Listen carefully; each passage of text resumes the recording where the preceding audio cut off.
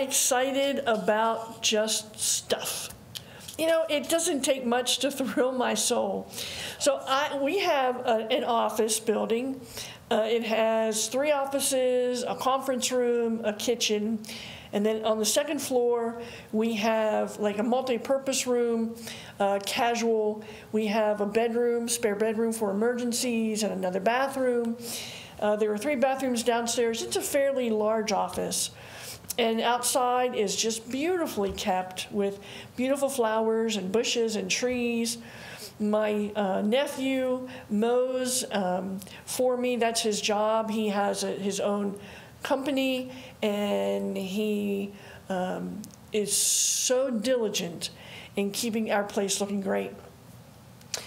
But we have this vine, this insipid vine that it's it just overtakes everything. If we don't stay on this vine, we have tried to take it out, cut it out, burn it out, chemical it out, but every year this vine just comes out of nowhere and takes over our flower beds. And my one of my closest friend, she's uh, her family is my family. I call them my own. Um, it's my nieces and my nephew. Um, she's as close to me as blood could possibly be. And she and one of her daughters showed up at my office and cleared the whole place of this vine. And when I say it's taking over everything, it was taking over some of the rails on the porch. It was taking over a tree. It was taking over the bushes and flowers and cleared the vine from everything, and it looks absolutely beautiful. That I don't even really need to preach, do I? That that's how sin and the world can get to us. Little by little, one little vine can wrap itself around us. One little tiny branch of something can entwine us in sin, in rebellion, in disobedience, in sickness, in sadness, and in disbelief. But we need to constantly garden our lives Clear out that vine that so easily entangles us. You were running, Galatians says, you were running so well. Who entangled you, or what entangled you that you fell away from the truth? It was just that sweet reminder that God always gives me when I drove into the parking lot and I saw how beautiful the, the flower beds looked. That was what God spoke to my heart. said, Jen, you need to make sure that your life is clear of vines that don't belong, that want to take over everything, that are in pursuit of you to take over everything unrelentlessly. That is how the enemy works, one vine at a time. So, didn't really need to preach that. That would preach itself, but just a gentle and wondrous reminder from our Father to keep our gardens vine free entangled free, to keep our lives out of the entanglement of sin. Amen? Amen. I have a message today called Time Travelers. Time Travelers. Uh, I want to see power in the church. I long to see power in the church. It's obvious from what's happening around us that we need power in the church. But the real question is do we want it? Because with great power comes great responsibility, right? But more than that, are we willing to do what it takes to lay hold of God's power in the church? What does that have to do with being a time traveler? Well, each day, 24 hours time, each minute, 60 seconds, um, days, weeks, years. Everything is time. We live by time. Um, we, I, I, wrote it, we spend time. We run out of time. We save time. We lose time. Some people are on borrowed time. Many have too much time on their hands, and some don't have enough time. So, time is a commodity that is important, and it's especially important to the Lord. So, I'm going to, I'm going to take you through a, a, what I think is a very powerful study on time. Now, please understand that in God there is no time. To him, a day is a thousand years, a thousand years is a day. Eternity is timeless. But we are a linear people where God sees my whole life like a ball of yarn wrapped in uh, wrapped all together in his hand. He sees my life beginning to end, the whole ball. But we as humanity see that ball of yarn one moment at a time. Just we don't we don't see the whole ball. We we just see one moment at a time. So if we're seeing one moment at a time, that means every moment is important. So then we have a caution about time in Scripture. It's Ephesians chapter 5, verses 15 and 16. Be very, I like that, not just careful, be very careful how you live. Not as unwise, but as wise, making the most of every opportunity because the days are evil. Hmm. Now, maybe you might think that not all days are evil. After all, this was Paul talking, and back in Paul's day, there was persecution of the church back then. Uh, that was that was just Paul's day. That wasn't my day. That's not our day. Our days aren't evil. We have good days: days at the beach, days for a cookout, days with family, Christmas, Easter, holidays, Fourth of July fireworks. These are great days. These are not evil days. These are good days. Hmm. Wrong. And I'm going to explain what I mean by that. And it's it's such a critical idea a, tr- a critical truth that we need to understand. So let me take you to Galatians 3, verses 3 and 4. Galatians 3, 3 and 4. Paul again, grace and peace to you from God our Father and the Lord Jesus Christ, who gave himself for our sins to rescue us from what? The present evil age according to the will of God and Father. Jesus gave himself to rescue us from this evil age. One of the reasons that Christ went to the cross was to rescue us from what is called this evil age. That's the time we live in the age he's talking about stretches from Paul's day to the time when Christ will return to establish his kingdom. So, if the age is evil, then the days within the age are also evil. We live in evil days. Now, I think the days are more evil now than they were 30 years ago or 50 years ago.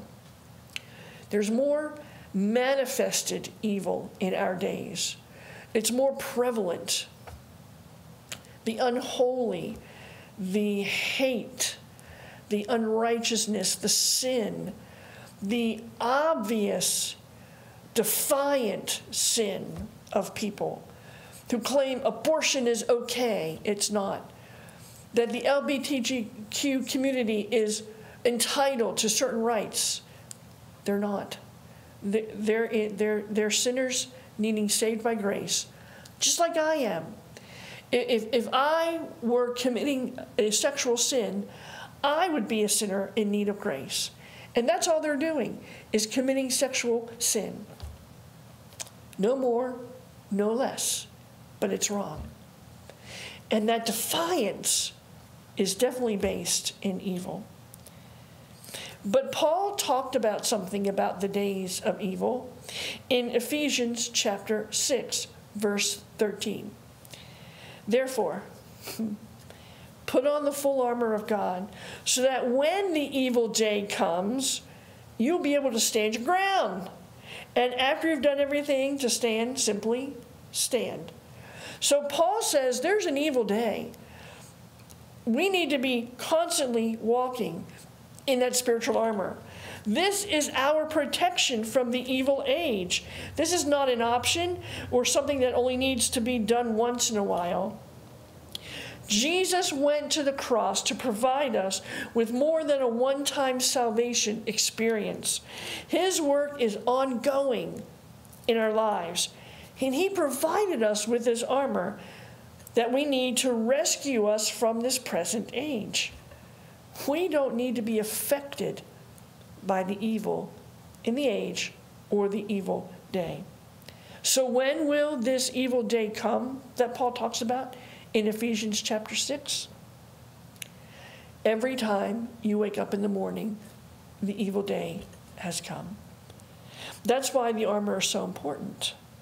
The evil day is not on its way, it's here. Right now, here. And as God's people, we need to be prepared for what comes ahead in that day. We are the ones who should be walking in victory in our days over the challenges we face that the world around us can't understand. How else could I walk in victory? How else, if not by Christ and the Spirit that He gave us? If every day is evil, then Christ in every day brings me the victory. Hear that. If every day is evil, then every day in Christ gives me the ability to walk in victory and righteousness, in right thinking, right standing, right speaking, right acting, right everything, in the righteousness of God. Every day can be victorious. But it begs the question what makes something evil? What makes the day evil? Good question. And God spoke to my heart. Because this is how I operate with God. I will sit at my desk and he'll he'll pour into me through the Holy Spirit. But I ask him questions, well, Lord, what, what makes a day evil? If, if your word says that there's an evil day, because the days are evil, that's what he said in Ephesians 5, the days are evil. What will God show me? What makes the day evil? Okay? All right. So let me give you Matthew 12, 35. Matthew 12, 35. The good man brings forth good things. The good man brings good things out of the good stored up in him, and the evil man brings evil things out of the evil stored up in him. The Bible is clear. What makes something good or evil isn't the thing itself, usually. It's all based on who the owner is. Things are evil simply because they're owned by an evil thing. Good things are owned by a good man. A good man brings good things out of the good stored up in him, and the evil man brings evil things out of the evil stored up in him. So if it's all about the owner, what about the age we live in? Easy. 2 Corinthians 4 4. The God of this age has blinded the minds of unbelievers so that they cannot see the light of the gospel of the glory of Christ, who is the image of God. Remember in Galatians, Paul said that Jesus gave his life for our sins to rescue us from this present evil age. And everything in that evil age, every day in that evil age is an evil day. Who owns the evil age? The God of this age, Satan, is the owner of this age. The age is evil because the owner is evil. The devil is called the God of this age. And according to Scripture, this age will last until the return of Christ. This age, again, is evil because Satan, the owner, is evil. But the real question is what can we do about it? Well, if we go back to think about Ephesians 5, be very careful how you live. It says we're to redeem the days, must making the most of every opportunity because the days are evil. We're told that this age requires us to be so careful We, we, we have to walk in wisdom. Paul goes on to explain what he means by this that we should be making the most of every opportunity. Now, this is an interesting phrase that the English translation doesn't do justice in. It literally means redeeming or buying back the time. As Christians, we need to be purchasing the time back. Look at it this way all of the time, all time was created by God and for God. But because of Adam's fall, Satan has taken over the age, and it's now up to us to redeem that time. Now, how do we redeem time? It is so easy. We just put Christ in it. We put Christ in our time. We talk about him, we sing about him, we pray to him, we think about him, we read his word, we fellowship with him, we walk righteously alongside of him. We walk in the power of the Spirit. We operate in the power of the Spirit.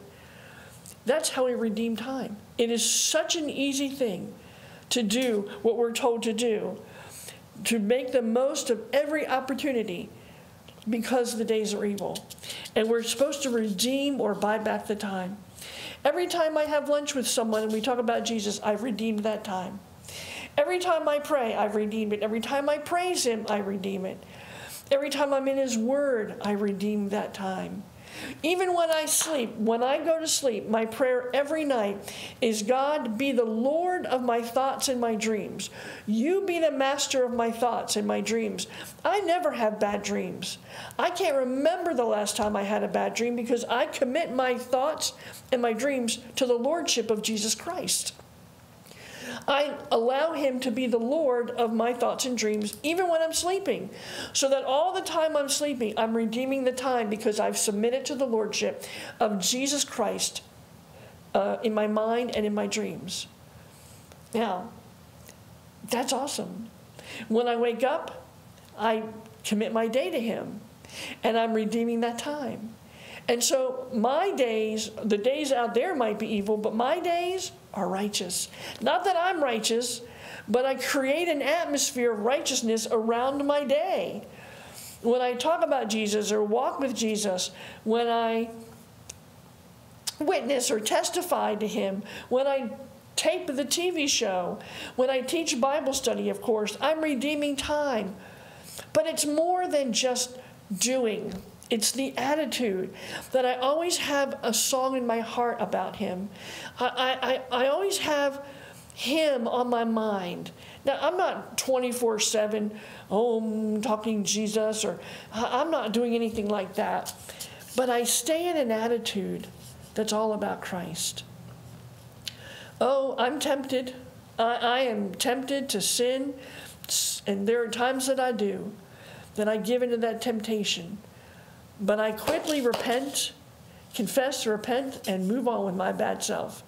I've redeemed the time, even out of sin. It's, it's so easy. So, this leads me to some obvious kind of conclusions. If something can be bought and sold, it's a commodity. Think about time. In both scripture and our language, Many financial terms are associated with time. Let me roll them again spend time, run out of time, save time, lose time. People uh, live on borrowed time. Many have too much time on their hands, some don't have enough time. Time is a commodity, and we're exhorted and encouraged to purchase time because the days are evil. What does all this have to do with power in the church?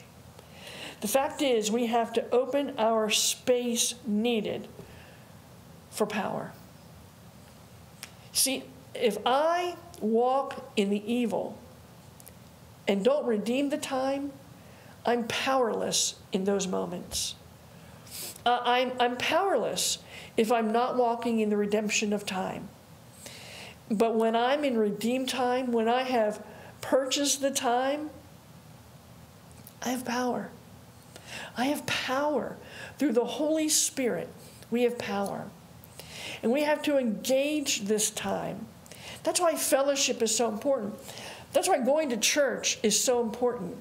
That's why talking about Jesus, you know, I, I have friends, we, we joke about this all the time.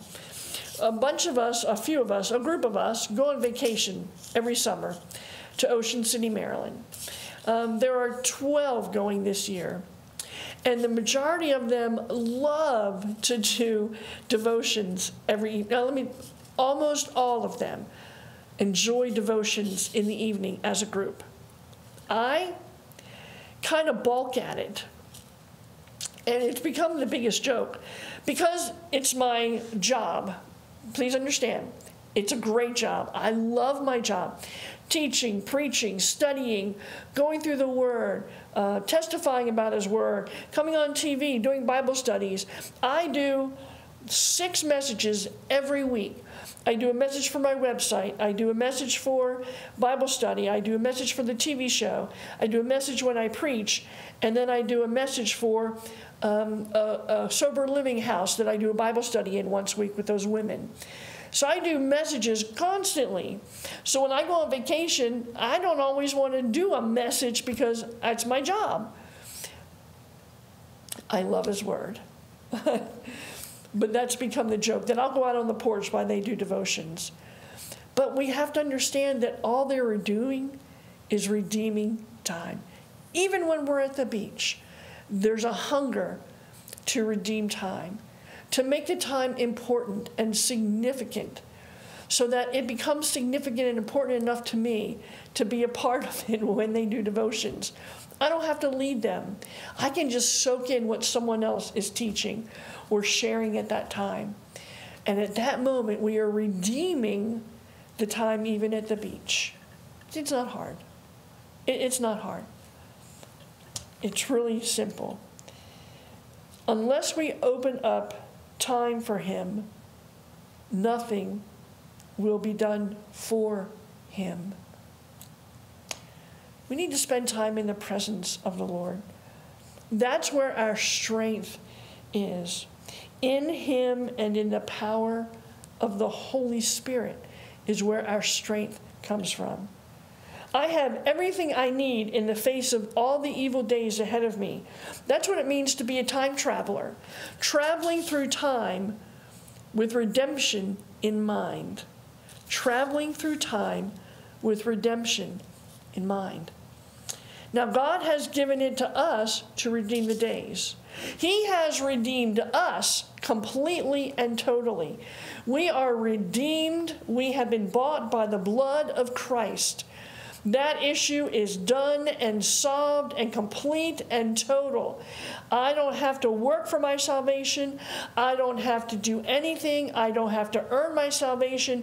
It is a free gift of Jesus Christ who has already paid the price for me, and I have been purchased by the blood of the Lamb.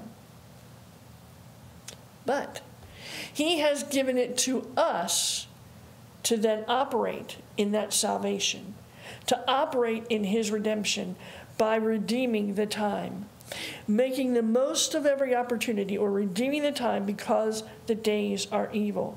And the days are evil because we're in an evil age. And the age is evil because of the one who owns the age. The owner of the age is Satan. So Satan is evil, the age is evil, and the days within the age are evil. But God gave you and I the great privilege, the awesome privilege of redeeming time for Him, buying back time, giving Him time. Now, listen, I understand that God owns all time. All time is in God's hands. But there's an ownership to the time in this world, the world system, not the people, but the world system. And the God of this age owns the time. And that's what God said that the time, I'm not saying the days are evil. God is saying the days are evil. I'm not saying the age is evil. God has said the age is evil. And God has said that Satan is the owner of the age, not me. I'm just following through scripture. But it's our joy and our responsibility to redeem or buy back that time. It's an easy thing to do.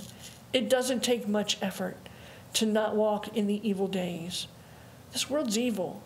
There's evil all around. But I am not of this world.